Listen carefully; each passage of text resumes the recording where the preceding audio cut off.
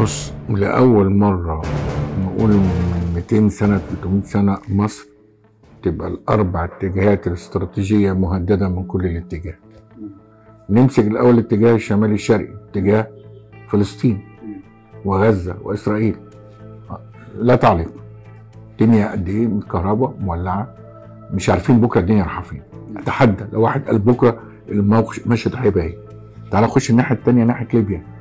11 سنة منذ رحيل القذافي وليبيا غير مستقرة حكومتين حكومة في طرابلس وهي بنغازي مرتزقة في تركيا عندها قاعدة بحرية وقاعدة جوية الدنيا برضو غير مستقرة. ولما يكون في عدم استقرار في دولة يبقى بيهدد الدولة على الأجوار تعال نخش على جنوب السودان. مشكلة وأنيل. النهاردة خمسة مليون لاجئ هاربين من السودان ومتوزعين في كل حتة. وبرضه مش عارفين دخل نفق مظلم الجيش والتدخل السريع.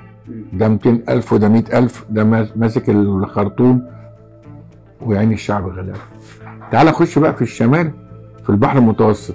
من ساعة ما أمريكا قالت 2015 أن البحر الأبيض المتوسط عايم على بحيرة من الغاز الطبيعي وأن بترول الخليج هيخلص 2000 آه، قدامه 10 15 سنة لكن البترول والغاز بتاع المتوسط هيقعد لحد 2050 هناك صراع قائم في المنطقة. فأنت النهارده حواليك كلهم أمور غير مستقرة. مش عايزين نتكلم على سوريا اللي مش عارفين لها كيان هي رايحة فين. مش عارفين نتكلم على اليمن اللي ضاعت مننا. أنت فاهم؟ فالنهاردة أنت في وسط نار حواليك والحمد لله شوف الدنيا ماشية بلد عايشة. وبناكل وبنشرب وعايشين مستقرين آه في صعوبات في مشاكل غلاء أسعار في بطالة زي معظم الدول العالم بعد ما حصل كورونا والحرب الروسية الأوكرانية فعشان كده الناس بدأت تقلق وبدأت تحس. لما شافت غزة بيحصل فيها كده قالت لك الله وإحنا ممكن يحصل فينا كده وإحنا ممكن نستحمل كده فعشان كده لأول مرة النهارده بيجرى في استفتاء في مصر والناس نازلة من حبها مش نقول للسيسي بس لحبها لمصر عايزة تستقر واللي بيقود الاستقرار راجل اسمه عبد الفتاح السيسي. فعشان كده لأول مرة الناس نازلة وقلبها على استقرار البلد قبل أي حاجة تانية. هي هي أثرت طبعا. لو لو لو الموضوع ده ما كانش حصل وجات الانتخابات يعني ما كانش أحداث غزة والدنيا الولعه اللي حوالينا دي أعتقد كان هيبقى الحضور مش بالحجم ده. لكن النهارده لحد الوقت أنا شايف الدنيا مش طوابير في كل حتة. وحتى مش طوابير مثلا في سيبك من الإعلام اللي بينشر لا. ده أنا حتى أنا في بورسعيد ووالدتي في مدرسة باسمها. فالناس اللي في الجيران بعت لي صور المدرسة بتاعت والدتي والطابور بتاع الستات قد إيه.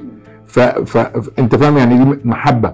مش إعلام بيقول للناس شايفين يعني فالحمد لله أنا واثق إن الأمور النهارده كويسة و وبعدين أحلى حاجة الصبح إن كل بسمعه بقى من كل حتة يعني إن الستات زي ما نزلت الرئيس السيسي ما فات نزلته مرات بس الرئيس السيسي الأسبوعين اللي فاتوا عمل حاجة خلت يعني نقول إيه شعبيته كبرت قوي لما جاب بلينكن وزير الخارجية الأمريكي وقعد معاه الرئيس السيسي عمل إيه؟ لأول مرة عمل إن يبقى الكلام مفتوح على الهوا.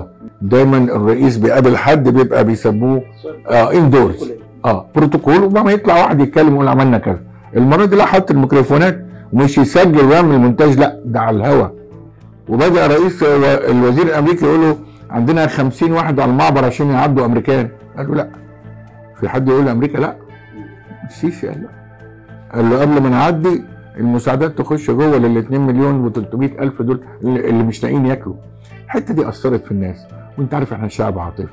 ومرتبطين بالوطن العربي والقومية العربية. أنا من أول أكتوبر لحد دلوقتي يمكن حاجة 20 جامعة رحت زرتهم. كنت بتكلم في الأول عن حرب أكتوبر. أخلص أي سؤال الناس بتتكلم الشباب 22 سنة غزة رايحة فين يا فندم؟ اليهود بيعملوا إيه؟ أنت ف... أنا كنت رايح وفاكر إحنا الجيل القديم بتاع عبد الناصر اللي عشنا على وطن يا حبيبي الوطن الأكبر فاهمني؟ ألاقي الجيل الجديد كده؟ لا. ده جينات المصرية عظيمة. إن إحنا جينات إحنا قلب الوطن العربي وقلب الأمة العربية. عشان كده لسه الولادنا جداد بيحبوا انتمائنا العربي وإن هم حاسين إن مصر هي الأم. تلاقي واحد يقول لك إيه؟ إحنا ما إحنا ما, ما نتدخلش ليه؟ شوف يعني برضه حاسس إنك أنت الكبير أيوه. وأنت لازم تقوم بحاجة. قلت له يا ابني مش لازم التدخل عسكري دي آخر حاجة. لكن هو مين اللي وقت اللي عمل مفاوضات السلام؟ مين اللي عمل الهدنة؟ مين اللي خرج الناس دول؟ مش مصر ومعاها قطر؟ ف- فحقيقي اللي اسعدني الفترة اللي فاتت إن هناك قبول من الشارع المصري لما يحدث. حب للرئيس سيسي شعبيته زادت قوي اليومين دول زي 30 يونيو المرة اللي فاتت لأنه حس إن في رئيس بيقول لأ للأمريكان. حصلتش. ان هم قلبي وقع. أنت فاهم؟ أنت هتقول لأ للأمريكان؟ خد بالك إيه؟ ده بيقول ل 50 واحد ما يخشوش. فالامريكان لهم خمس مسجونين في إيران هيطلعوهم بإيه؟ 6 مليار دولار. إيران كان لها 6 مليار محجوزين في أمريكا في كوريا الجنوبية هيطلع هيفرجوا عنهم في سبيل إن إيه؟ أخرج خمس خمس جون. فلا شك ده خلى الناس تحس إن إحنا إحنا الكبار وإحنا العظماء والراجل بتاعنا ده كبير ما بيخافش من حد. فاهمني؟ هو ترامب يوم ما مسك الحكم في أمريكا. راح فين؟ راح الخليج العربي. خد منهم قد إيه؟ 500 مليون مليار دولار. أنا بحميكم. حد يعمل معانا كده؟ لا. إحنا كبار. عشان كده الناس حاسة إن مصر كبيرة. وبالذات الفترة دي جت في وقت الانتخابات. فأعتقد هي حاجة كويسة.